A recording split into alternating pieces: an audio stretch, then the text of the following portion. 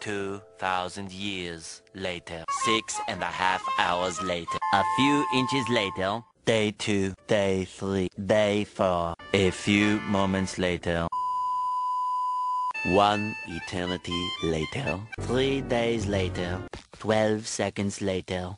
328 a.m. Three weeks later. Many months later. So much later that the old narrator got tired of waiting and they had to hire a new one. Tomorrow.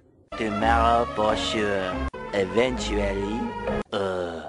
12 o'clock midnight. Two hours later. Meanwhile. 8.01 p.m. The next day. Later. 20 minutes later.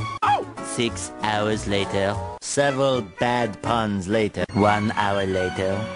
Two hours later. Three hours later. Can you move it along? I'm all out of time cards.